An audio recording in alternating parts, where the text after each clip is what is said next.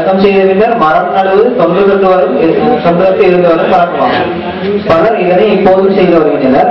சிலர் புதிதாக இது கூடாது என பிரச்சாரம் செய்து வருகின்றனர்.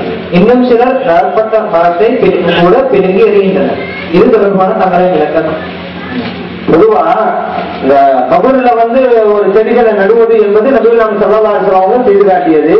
அந்த தாவரங்கள் வந்து தப்தி செய்து செடிகள் எல்லாம் அதன் மூலம் கபூருக்குள்ள இருக்கக்கூடியவர்களுக்கு நன்மை கிடைக்குது பலன் கிடைக்குது. இந்த பலன் யாருக்கு அப்படின்னு கேட்டா மூமின்களுக்கு தான். அப்போ நம்ம தான் மூமின்களுக்கு தேவையில்லை அப்படிங்கிறனால சொன்னாக்கா மூமின்கள் அல்லாதவர்கள் அப்படி சொல்லுவாங்க. ஏன்னா இந்த பலன் வந்து மூமின்களுக்கு தான் கிடைக்கும். இப்ப இறை மறுப்பாளர்களுடைய கப்பல்ல கொண்டு போய் ஒரு செடியை நட்டோன்னு வச்சுக்கிறங்க ஒரு நன்மையும் கிடைக்காது. இறை மறுப்பாளர்கள் கிடைக்காது. ஈமான் உள்ளவர்கள் தான் கிடைக்கும். இல்ல இதெல்லாம் தேவையில்லைன்னா அவங்க யாராவது போனா நம்ம நினைச்சுக்கிற வேண்டியதுதான். ஆனா இது உண்டுங்கிறத நபிகள் நாம் சரதாசன் செஞ்சு காமிச்சிருக்கிறார்.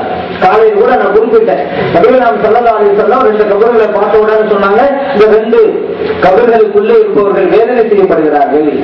காரணத்தை சொன்னாங்க இருவரில் ஒருவர் கோல் சொல்லிக்கிட்டு இருந்தாரு. இன்னொருவர் வந்து சிறுநீர் கழித்தால் சுத்தம் செய்ய மாட்டாரு. சுவரைக்கு விட்டு பேரிச்ச பேரிச்ச மரத்தை மட்டை கொண்டு வாங்க கொண்டு வரப்படுது. ரெண்டாக உடைச்சு ரெண்டு கபர்களிலும் ஊன்றினார் நபியில் சொன்னாங்க இந்த மட்டைகள் ஈரமாக இருக்கிற வரைக்கும் கபருக்குள்ள இருப்பவருடைய வேதனை குறைக்கப்படுகிறது புகாரிலும் பதிவு செய்யப்பட்டாது செல்லவாது என்ன சொல்றாங்க இந்த மட்டைகள் ஈரமா இருக்கிறவங்க ஏன்னா அது தஸ்பீர் செய்யுது.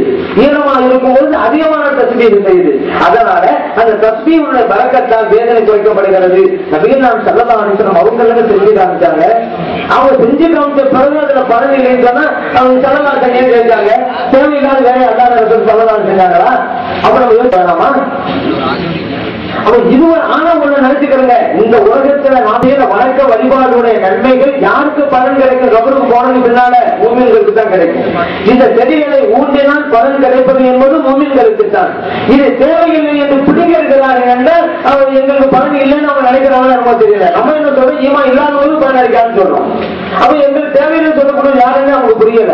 ஆனா மூமியாக இருந்தா அவங்களுக்கு பலன் அளிக்கிறது இது சொந்தத்தான காரியம் அப்படிங்கிறது நினைவில் வைக்க வேண்டும். அப்படின்னு நாம் சொல்லலாம் செஞ்சு காமிக்கிற சொந்தத்தான காரியம்.